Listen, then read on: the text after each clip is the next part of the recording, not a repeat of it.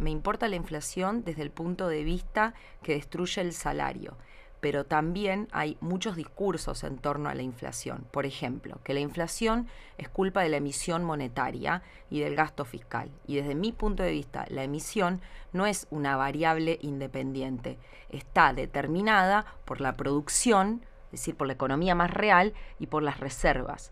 Entonces, para mí uno de los factores de la inflación es la fuga de divisas, la fuga de divisas de ganancias y de riquezas que se generan en la Argentina. Y ahí hay que controlar. Y por eso para mí el salario de 500 mil pesos, acompañado de un plan, no es un eslogan, es un plan económico, disparador que permite mirar a la economía desde otro lado. Nos permite incluso, a pesar de elevar el salario, controlar la inflación porque otra de las medidas es controlar la fuga para que haya reservas. Si hay reservas y se mejora la producción, entonces en realidad la emisión no necesariamente es inflacionaria.